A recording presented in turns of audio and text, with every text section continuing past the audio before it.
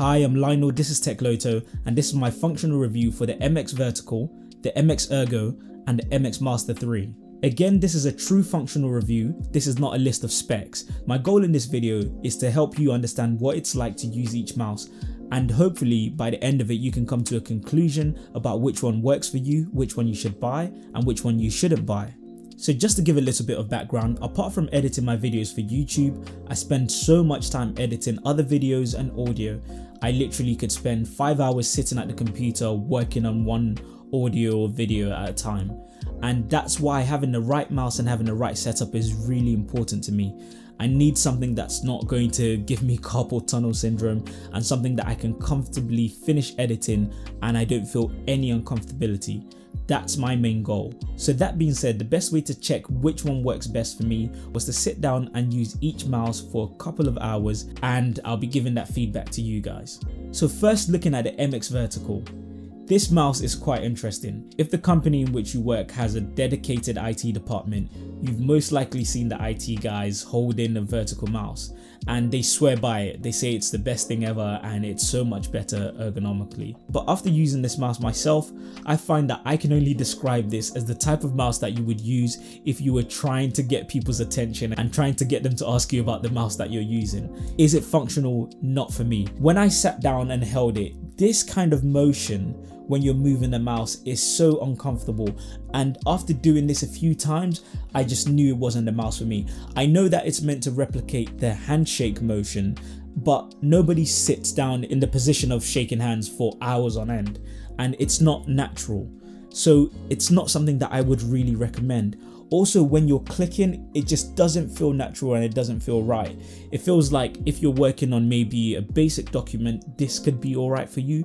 If you're clicking maybe every 10 minutes and you're more typing, if you have a really large open space, I can see why people may want to use this. For me, my setup, I have the desk and then I pull a section under it and that's where my mouse sits. I need it to be able to sit comfortably if you have a smaller workstation, your movement's already restricted. You don't want to add this restrictive motion to that where you're only able to move that much and that motion after a while, try it. Lift your hand up right now and do that a few times in a very restrictive way. You'll notice that your forearm starts to tense up. It's not for me. I think maybe it's a nice idea. It's something that it seems like other people are used to. This is just something that I wouldn't recommend to anybody who's working for hours on end. Now moving on to the MX Ergo. This is the best mouse I've ever used. It looks like a spaceship and it's almost as big as one. I have relatively small hands and even I see the value of having such a large mouse. And for people with larger hands, once you get your hands on this, no pun intended, you're not going to be able to let it go because it's so comfortable. You literally just rest your whole palm on it and it feels natural. The placement of all the buttons is fantastic and you just click with ease. You're not feeling like you're having to lift, the rollerball is in a perfect position. And one thing that I find is that sometimes you have a good mouse, the placement of your thumb and your smallest finger doesn't really work that well. But this one, I just relax on it and it's fantastic. So is it the perfect mouse? Unfortunately, it's not. This motion is not meant to happen over and over again for a long period of time. Perhaps it's like playing the piano where you get that dexterity after a while, but for me, it just doesn't work.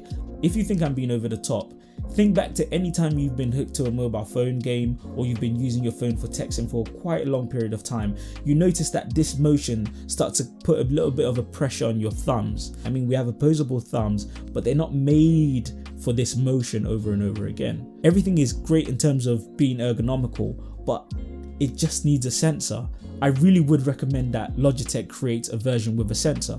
Moving on to the MX Master. The MX Master is a decent shape, it's a decent size, the motion sensor is great, and with the same features that it has on all the other mouse, it works really well. All you need is that USB in the back and you can connect to multiple Logitech products. So if you have the mouse, you don't have to have a USB in the back for the mouse and the keyboard. No, it all works well. So one would imagine that the MX Master 3 is the perfect mouse and you don't need to opt for anything else once you have this.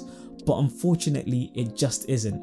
The first thing I'd like to cover is the position of your palm when you're resting on it. When you place your palm on it, you'll notice that the smallest finger doesn't quite sit on it comfortably.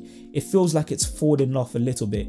And for me, someone who spent hours and hours on end designing on a laptop for years, I really value my finger placements and I know how much it can have a long term effect on you if you don't have it in the right position and if you don't have the right setup. I personally wouldn't opt for spending over a hundred pounds for a mouse that doesn't cover everything that I need. The thing is, don't get me wrong, if you've never used the MX Ergo, you'll be perfectly fine with this mouse. But if you find that you're sitting down for an hour, two hours, three hours working on your computer, clicking so many times, I wouldn't recommend this for you. You can go ahead and buy this mouse, but I dare you to try the MX Ergo and tell me if you can go back to the MX Master 3 knowing that it doesn't really provide everything that you need. And that's the dilemma here. I would really recommend that Logitech creates a version of the MX Ergo that has a sensor, meaning that you don't have to use that rollerball. The rollerball isn't ideal for long-term work. It may work for some people, but I think for most people, they're looking for something that's the size of the MX Ergo, that's perfectly shaped, but that just has a sensor. If you could keep that shape with a sensor, it would be fantastic. I know you're probably wondering, did I decide to compromise? Well, I can't really compromise on a mouse that's cost well over a hundred pounds, knowing that it won't provide all the features that I need. I couldn't decide to keep the MX Master 3 because it just doesn't do the job as well as the MX Ergo. A few years ago I bought this mouse on Amazon and I won't say the name so you understand that this is in no way a paid promotion. This mouse has served me for years because the shape is really good. When I rest my palm on it, it feels comfortable. It's a lot smaller than the Logitech versions, but it does the job and it works well and I've worked using this for up to 5 hours. So for me, it's the ideal mouse. Obviously, I would much prefer a version of the MX Ergo and would be happy to pay the cost if it just had a version with a sensor. But unfortunately it doesn't and I can't recommend that you buy that. For me, this is a topic I'm passionate about because I value my hands. If something goes wrong, that stops me from working, it stops me from being able to edit, and I can't afford to do that. So I need a mouse that's really ideal. Logitech already has everything they need to make the perfect mouse. They don't have to think too hard about it. Just make the MX Ergo with a sensor and that will sell like hotcakes. It'll be really interesting to see what everybody else thinks about this. If people are still going to compromise and get the MX Master 3 or if you're just going to try the MX Ergo with a rollerball. Let me know what you think in the comment section below and I hope you found this video helpful. If you have, don't forget to like and subscribe. Thank you very much for watching.